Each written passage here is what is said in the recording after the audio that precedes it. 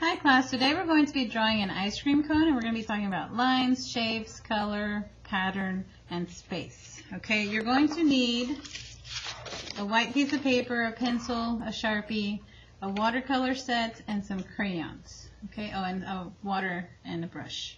So first we're going to start with the top of the ice cream, and remember you want to fill the space.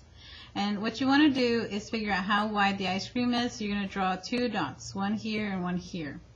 Then you're going to connect it with a rainbow line. I'm using a Sharpie so you can see my lines, but really you want to start with a pencil so that way if you mess up, you're going to erase it.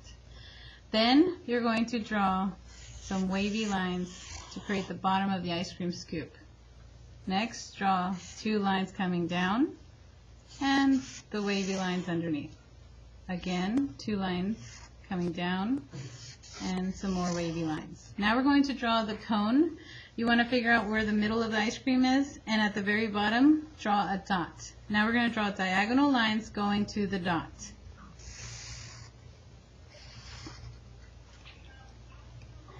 Okay, once you're done with that, then you're going to use the crayons, and I want you to add some patterns to your drawing.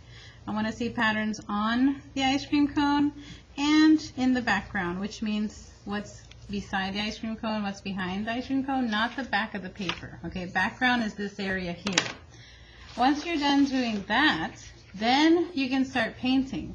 Now the crayon is going to resist the watercolor, so when you paint over it, you should still be able to see the crayon. I want you to paint the ice cream and the background and then I want you to write a sentence about what flavors do you think you painted. And that's it.